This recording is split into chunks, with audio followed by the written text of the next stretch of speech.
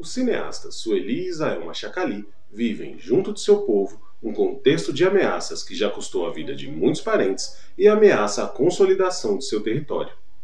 Nesse sentido, o audiovisual é uma das maneiras de serem protagonistas de suas próprias histórias, seja ao compartilhar a riqueza de sua cosmovisão com os não indígenas, fazendo denúncias ou registrando a memória dos mais velhos e de quem já se foi.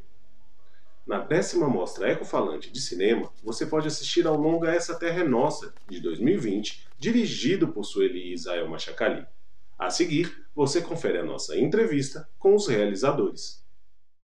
Antigamente, né, é mata grande, por isso que nós parentes esconde dentro do dentro do mato, né, e terra grande. Né? Por isso que o nosso parente saiu, né, quando chegou doença até passado, aí não índio trouxe doença e nosso parente saiu, né, dentro do mato, né, escondeu. Mas hoje nós não tem como fugir, né? Não tem mato, né? E não tem terra, né? A gente, porque nós tem que ficar quietinho, né? Igual abelha, nós tem que grudar, grudar outro, né? Para não sair, para não buscar doença, né? Porque não tem espaço maior para nós esconder. Mas o nosso ritual protege, né? Protege, esconde nós. Muito pajé antigamente. Hoje tem pouquinho faz pajé. Pouco, né? Porque nós não escolhemos pajé. Nasce, aprende, canto, né? aprende história, território, né? Esse, esse, ele vai ser pajé. Não é qualquer pessoa que vai ser pajé para curar a pessoa, não. E hoje nós estamos fortalecendo nossa cultura, né?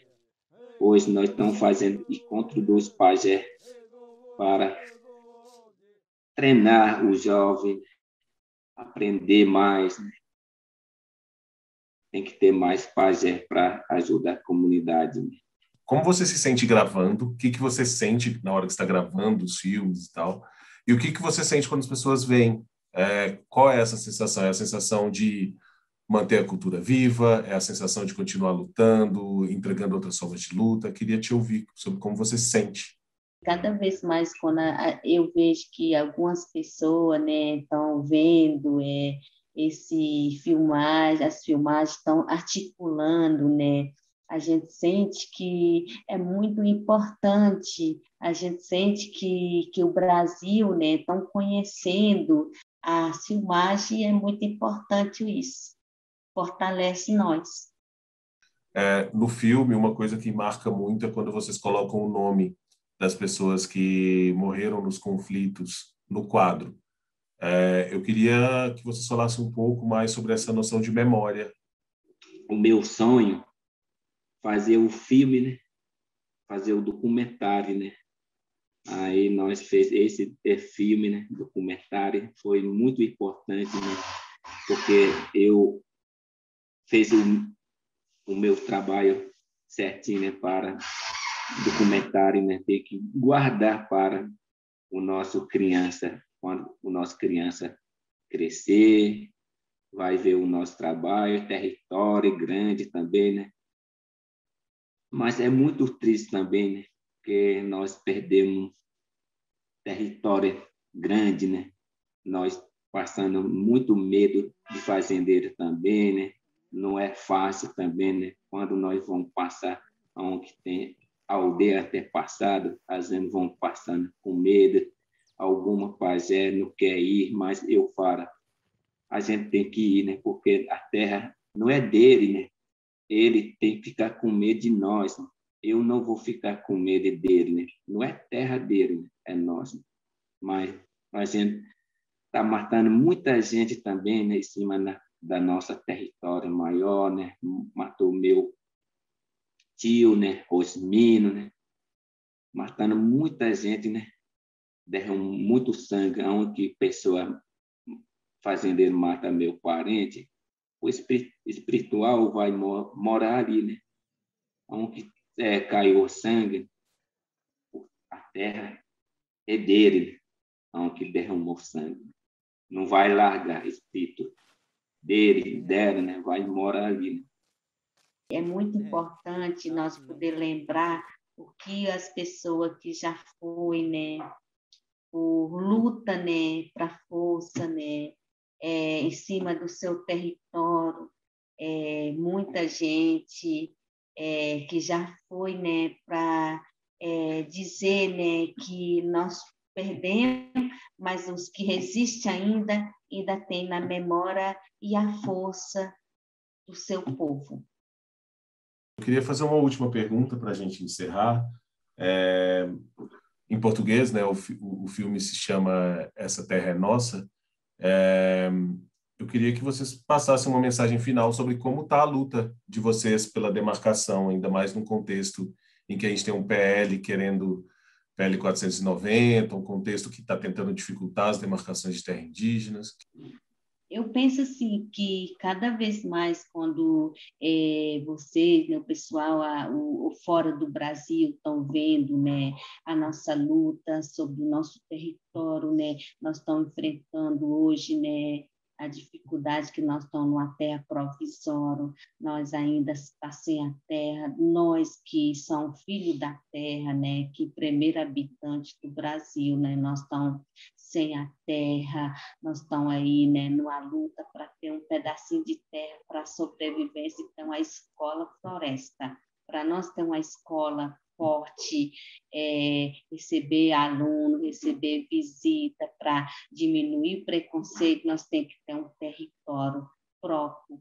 E aí, a, fora a TL, né, também, nós não aceita a TL, porque a TL é para matar nosso povo indígena. A TL, ela é, quer acabar com nossos povos indígenas. E assim eu deixo minha mensagem, fora a TL porque eu não quero chorar agora, né? Eu quero segurar, mas é, mas quando eu vejo que é, cada vez mais o governo quer destruir a nossa vida, como já estão sendo destruídos, isso me dói muito na gente, que nós somos a luta, nós somos povo liderança, que são povo que luta, nós, nós as mulheres indígenas que estão em frente da luta. Eu peço que deixe essa mensagem fora a TL. Pai, conto com vocês também. Bom, Fala um pouquinho, né? Onde eu moro, né? Porque é nosso, onde eu moro, chama Aldeia Roncanhão, é terra provisória, né? Que deu muito, assim, é, a pessoa que enganou, enganou nós, né? E fez aluguel de terra para nós, mas não é dele, né?